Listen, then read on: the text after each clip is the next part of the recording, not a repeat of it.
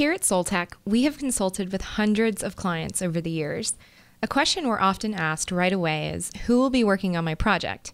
We understand that not everyone is aware of the roles each person plays when developing custom software, so we are here to help explain. The number of people who work on your project will widely vary and depend on how it is. Most commonly, a project will include an assortment of the following roles during some part of the development process solutions architect, UX designer, application architect, software engineer, interface engineer, technical project manager, and quality assurance engineer. Now, you're probably wondering who does what and why it takes a variety of folks to create a software application. That's a valid curiosity. Let's dive a little deeper into each role and what it is they do. First, your project will likely consist of the following different phases. First up, we have discovery, then design, and last, implementation. In the discovery phase, our solutions architects begin the process of truly understanding your business's technology needs.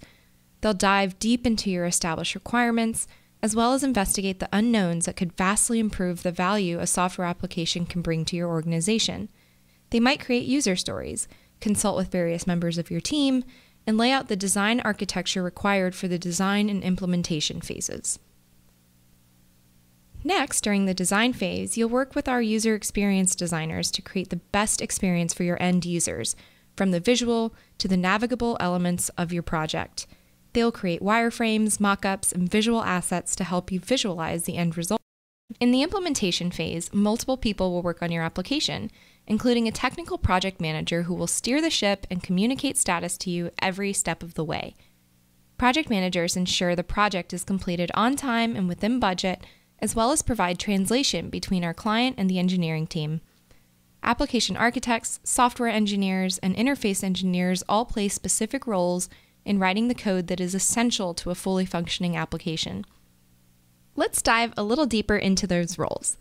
Application architects lead the software architecture and technical guidance on our project teams at Soltech. They work directly with the solutions architects to ensure the right technology choices are made as well as guide resource allocation according to the needs of an application. They'll help select the software engineers and interface engineers that will be required to make a project a success. Software engineers take over the server side development, while interface engineers write the code that will interact directly with the end user.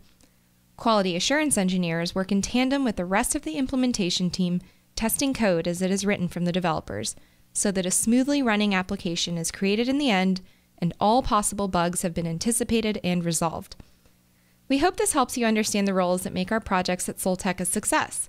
If you'd like to learn more or would like to employ Soltech's expertise in your next project, please reach out at hello at soltech.net.